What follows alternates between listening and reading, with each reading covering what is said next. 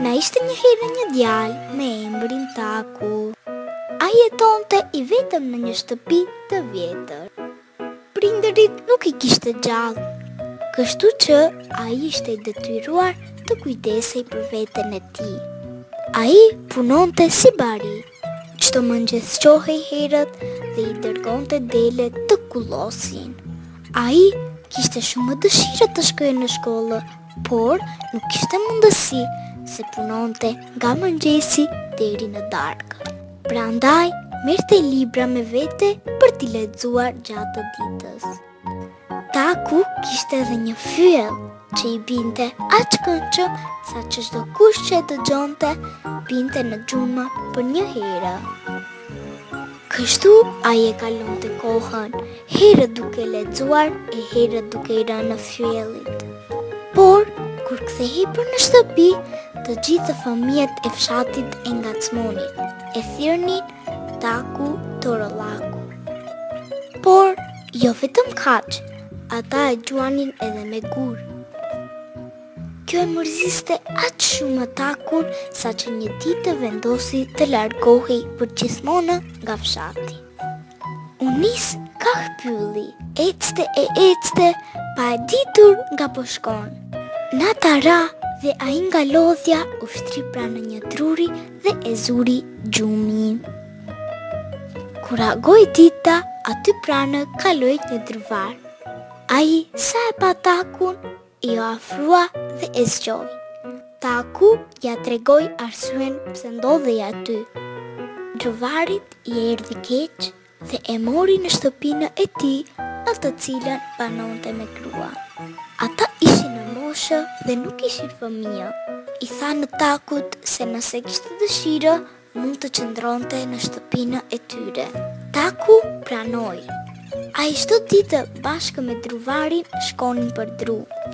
Shpeshherë kalonin pranë pallatit mbretëror, në të cilën jetonte një mbret i cili kishte një hall të madh, nuk e zinte gjumi për një kohë të gjatë.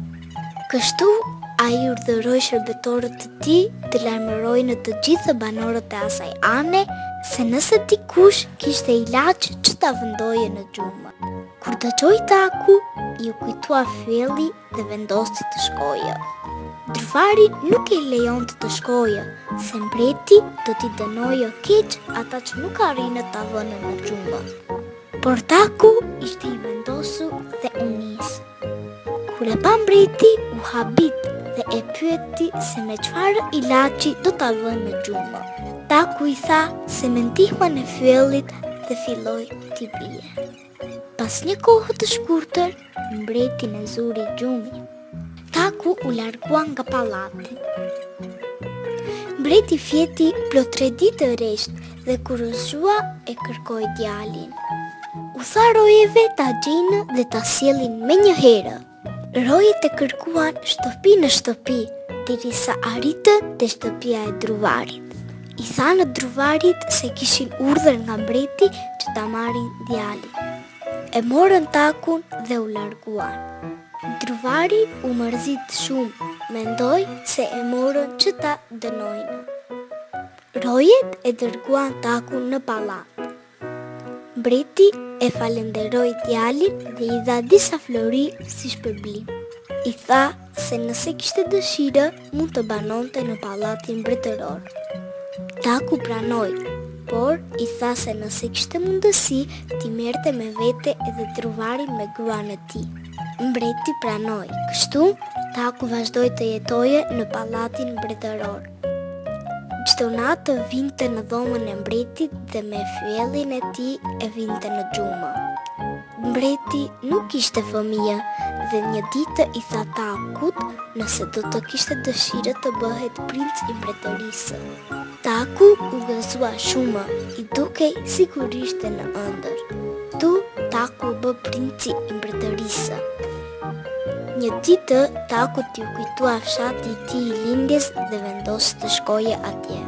Ishte hera e parë që fshatin e vizitonte një princ. Të gjithë fëmijët e fshatit dolën që ta shohin princin në kalë. Ata nuk e njohën Takun se kishin kaluar dy vite, por ai i njohu të gjithë. Pasi u tregoi, u habitën të gjithë se si kishte arritur të bëhet princ.